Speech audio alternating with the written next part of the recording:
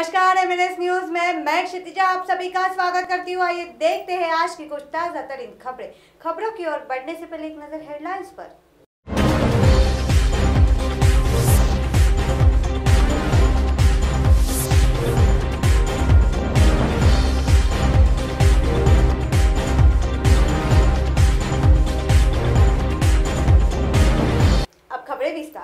वर्धा ज़िले के प्रशासन के लापरवाही के चलते नौ बोट रेत माफियों द्वारा चुरा ली गई है।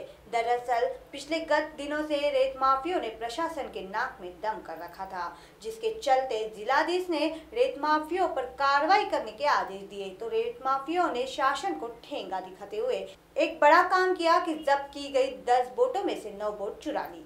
दिनांक तेवीस रोजी मान्य जिल्हाधिकाऱ्यांच्या निर्देशानुसार आम्ही आपटी आणि वाघोली घाटामध्ये स्पेशल ड्राईव्ह केली. त्याच्यामध्ये दुरून आम्हाला काही बोटी दिसून आल्या.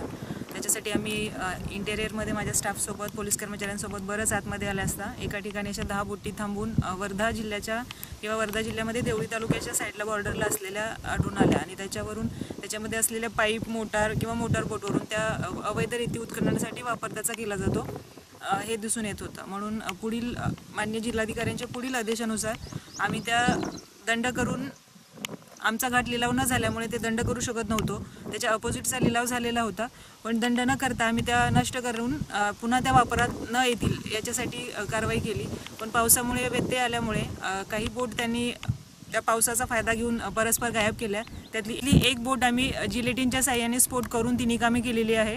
आणि राहिलेल्या बोटी किंवा उर्वरित ज्या बोटी सध्या इथे स्पॉटवर नाही आहेत त्या जिल्हाधिकाऱ्यांच्या निर्देशानुसार त्याची पुढची कारवाई करण्यात येईल.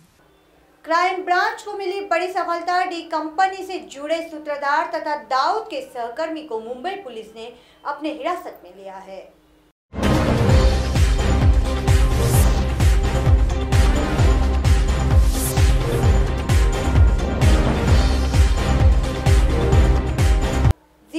मानसून आग मिचोली के चलते किसानों को भारी दिक्कतों का सामना करना पड़ रहा है। तो वही पानी की झड़ मिलने से फिर से बुआई करने की नौबत किसानों पर आई है।